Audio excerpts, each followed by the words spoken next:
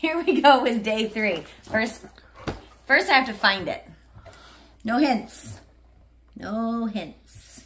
Found it. Do you think there's like a logic to the num way they put these numbers up? I Like ever. Three. And get our close up right here of our new little friend. Is that centered? Sorry, my bad. All right, what do we got? We've got Glenn Farkas. Nope, Glenfarclas. That's better somehow. what year? Is it 105? No. Come back. That's what it says, but it's not 105. It doesn't say what year, so maybe the year's Oh, 105. 105. Uh, Glenfarclas 105.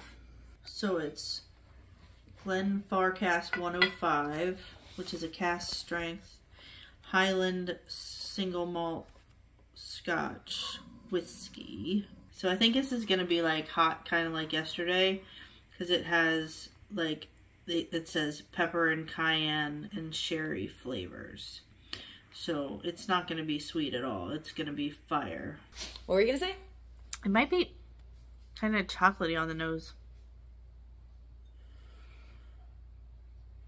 No? It is it is hot, you can smell it. You're hot. You can smell it. Oh, thanks. Cheers me.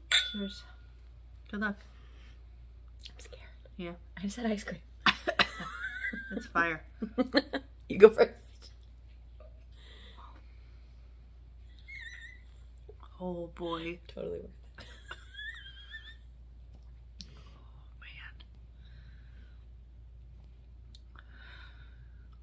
Hot the whole way. Is that all you have to say, or Yeah. I'm waiting. wait until I drink some? Yeah.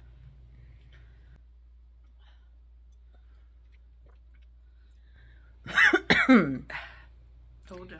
That's like a tequila burn. I don't oh even yeah, know what else to say about that except for it's like drinking liquid fire. actual fire, but without like the smokiness Oh, yeah. of a peaty scotch. yeah. So There's not even any sweetness to it. No chocolate. It's no. It's not really chocolate. She was lying about the chocolate. Feel that heat? It's coming from undercarriage. I was gonna say it's coming from my scotch, but sure. Oh, well, just take that out then. Nope. Not a winner No, I wouldn't drink this again. ever. Nope. So what are you rating it? I'm gonna go a four. All right, so I am going to rate it not just because Jen did, because I would agree, a four.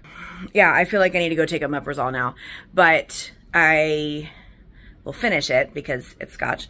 Um, and I finished all the crap wines last year, so I feel like it's only fair, but I probably wouldn't drink it again. So that's it for day three. I hope you enjoyed it, and if you like that kind of scotch, If you want spice and you want heat, this is where it's at. we will see you all tomorrow. Bye!